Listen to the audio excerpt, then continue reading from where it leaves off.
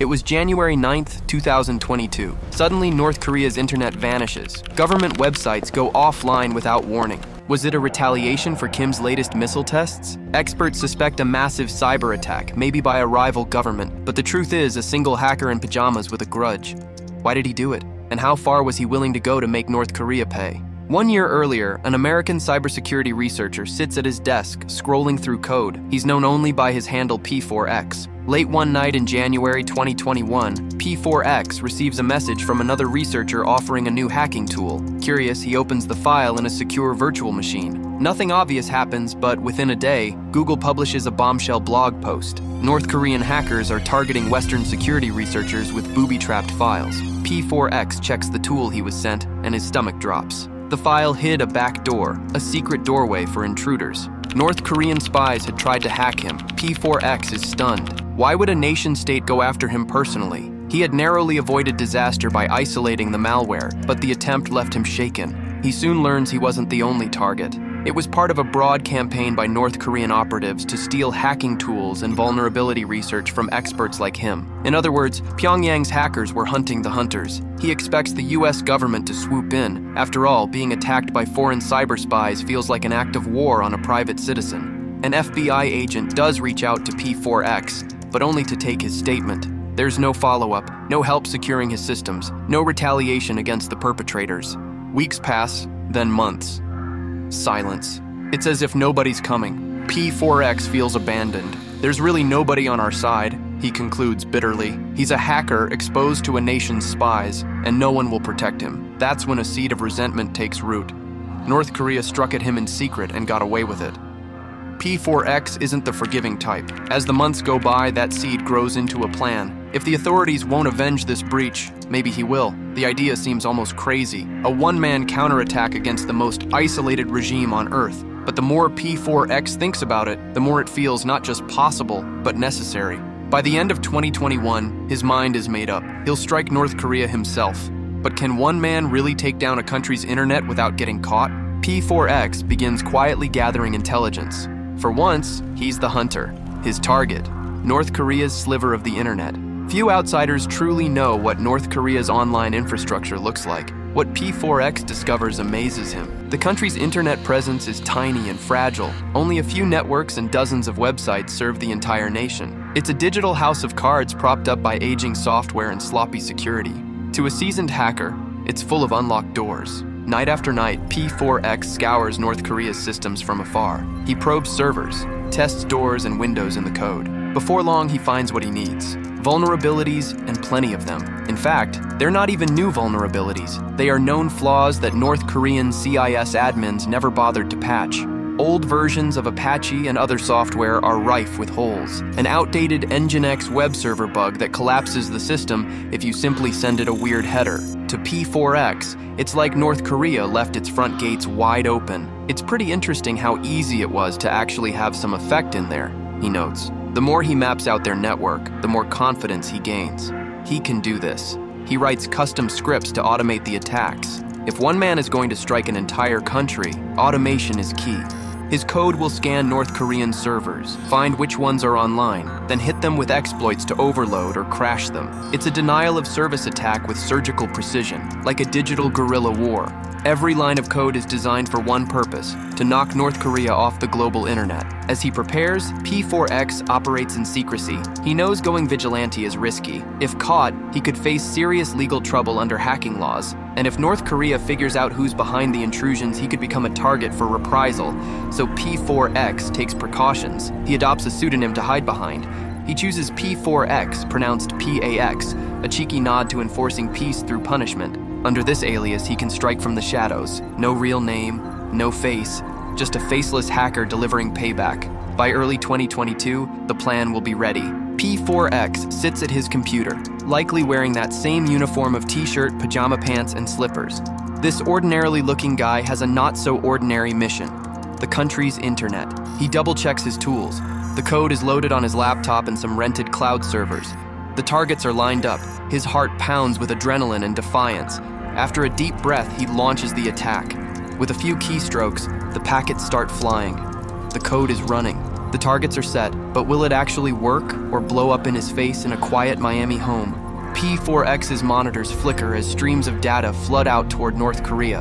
At first, it feels anticlimactic, just code running, no explosions, no immediate visual proof of impact. P4X cues up an alien movie on the TV to pass the time, munching on spicy corn chips, trying to act normal. But every few minutes, he pauses the movie and shuffles to his home office to check the attack's progress. Each time, the news gets better. One by one, North Korean servers stop responding. P4X pings the country's handful of websites. Air Koryo's booking site is down. Nara, the regime's official web portal, down. The state news site is down. He refreshes again. Nothing. One after another, the websites time out. Across the world, anyone trying to access North Korea online is seeing error messages. Inside the secretive nation, officials suddenly find their external emails and web access cut off. North Korea has been knocked offline. Still, P4X isn't celebrating yet. Is this real? Could one person truly have done this? He checks an independent monitoring service, Pingdom, which tracks website uptime. The charts for North Korea's web domains show a sea of red outages everywhere. A veteran cybersecurity researcher monitoring North Korean internet traffic observes a massive, mysterious wave of attacks taking entire networks down. He's baffled, having no idea who was carrying them out. P4X grins. It's working, and nobody has a clue that it's him. With each passing hour, the cyber onslaught continues. P4X's scripts relentlessly bombard the vulnerable servers until they crash, then move on to the next target. North Korea's few connections to the outside internet are overloaded, its routers paralyzed. What he's doing is essentially a denial of service, DOS attack, but highly focused, exploiting the regime's own weak points. By the time he finally stops for the night, practically every website in North Korea is down. An entire nation's online presence has been felled by a lone hacker at his keyboard. Before heading to bed, P4X takes a moment to absorb what he's accomplished. It's a strange feeling of triumph mixed with disbelief. He has proven that even a fortress of a regime can bleed in cyberspace. North Korea's internet is supposed to be a tightly controlled iron wall, yet he punched through it with relative ease. The first night of his personal cyber war comes to a close, but he knows this is just the opening salvo. Every site is offline. The regime is in the dark.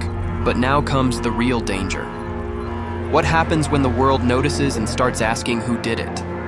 The next morning, news of North Korea's internet outage quietly spreads among analysts and intelligence communities. It's not every day an entire country goes offline. Speculation runs rampant. Did US Cyber Command or another state backed hacker group take direct action? The timing is suspicious. North Korea had conducted a flurry of missile tests just days before. Some whisper that this must be a punitive cyber strike by a world power, a secret message telling Pyongyang to back off its saber rattling. North Korea's government predictably is silent. There's no public admission that anything is wrong.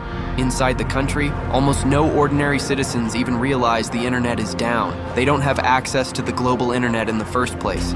Fewer than 1% of North Koreans can ever go online beyond their domestic internet. The outages mainly affect the regime's external propaganda websites and email servers, which cater to international audiences. So on the streets of Pyongyang, life continues as usual. The blackout is an embarrassment for the leadership, not a nationwide crisis. But abroad, among the small circle of North Korea watchers, the outage is big news. For several days in a row, nearly all of North Korea's handful of websites are unreachable. Tech forums and Twitter light up with chatter. Is North Korea under cyber attack? When some sites briefly come back online, they soon crash again. It's as if someone is toying with the regime's connection to the outside world, flipping the switch off and on. Yet, no government claims responsibility. No one steps forward. This mystery only deepens the intrigue. Was it a new form of covert pressure by the US or South Korea? A retaliatory strike by hackers from an enemy state? The lack of answers creates an almost cinematic whodunit. Little does anyone suspect that the person holding North Korea's internet hostage is not a nation's cyber army at all, but a lone hacker at home. P4X watches this global guessing game quietly from behind his keyboard. He sees articles speculating on state sponsored ops and laughs to himself. The world has no idea that this is a personal vendetta playing out in real time. For P4X, that confusion is part of the satisfaction. He doesn't want fame or credit. Not yet, anyway. Staying in the shadows keeps him safe, and as long as the regime doesn't know who's hitting them, they can't hit back. Still, the longer the mystery goes on, the more questions bubble up. How long can one man keep this up? What if North Korea finds a way to strike back digitally, or even physically?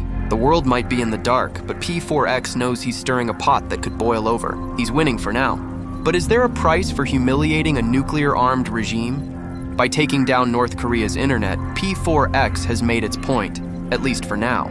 Kim Jong un's regime has been publicly embarrassed, shown to be so weak online that a solo hacker can unplug it at will. For P4X, this is vindication. He set out to annoy North Korea and show them there are consequences for messing with Western hackers, and he succeeded.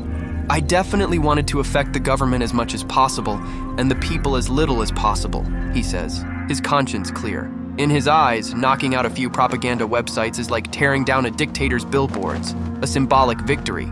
Flushed with success, P4X decides he won't stop at just temporary outages. The more he thinks about it, the more he realizes that his one man operation could become something bigger. North Korea's hackers will undoubtedly continue targeting Western individuals if they remain unchecked.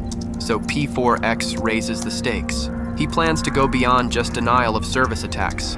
Next on his list, actually breaching North Korean systems, digging up secrets, and exposing sensitive information to the world. If simply shutting off their internet got the regime's attention, imagine the impact of stealing their data. But P4X knows even he has limits alone, so he quietly sets up a covert website on the dark web, calling it the Funk Project, short for FU North Korea. It's a rallying call for other activists to join his cause. This is a project to keep North Korea honest. The site declares he's effectively recruiting a team aiming to multiply his firepower. One hacker took the country offline. A handful could potentially dig deeper and hold the regime to account. It's the start of a vigilante cyber army in the making. Not everyone in the cybersecurity community applauds these rogue efforts. Some fellow researchers who were also targeted by Pyongyang worry that P4X's vigilante justice might interfere with classified operations.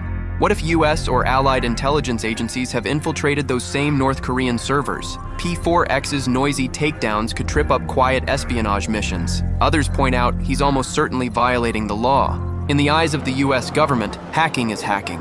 Even if the target is a hostile foreign power, P4X is keenly aware of this. He knows the Computer Fraud and Abuse Act doesn't have a vigilante exception. By all rights, he's risking prison, and there's the specter of North Korean retaliation. They might try to identify and retaliate against whoever's responsible. So, is P4X scared? Surprisingly, no. He's motivated by a mix of anger and principle. North Korea's regime, he reasons, commits outrageous cyber attacks and human rights abuses, operating with impunity. He's decided someone has to push back. My conscience is clear, he says confidently. To him, exposing Kim's weakness and sending a message is worth the risk. In fact, his message isn't just for North Korea, it's also for his own government. By going rogue, he hopes to shame US authorities into recognizing the threat and protecting individuals like him in the future. If no one else will defend against these attacks, P4X will, and he'll make sure everyone knows it can be done. As for how far he'll go, when asked what the end game is, P4X chuckles. Regime change. No, I'm just kidding. He says he insists he's not trying to topple governments just to prove a point, and he'll keep hammering North Korea's networks until that point is unmistakably made. So far, no law enforcement has knocked on his door, and North Korea hasn't figured out who he is. The first shots of this one man cyber war have been fired, and P4X stands unpunished, unidentified, and unbowed. His fight continues in the shadows, leaving a repressive regime looking over its shoulder, and the rest of the world wondering just who struck the Hermit Kingdom online and if they'll strike again. North Korea doesn't know who's hitting them. Law enforcement hasn't come knocking. But how long can one hacker stay invisible in a war this dangerous? One man in pajamas brought an entire regime to its knees. But what happens when thousands of criminals don't just take down websites, they sell your identity like a product? To see how stolen lives became a global business, watch our next story The Dark Web's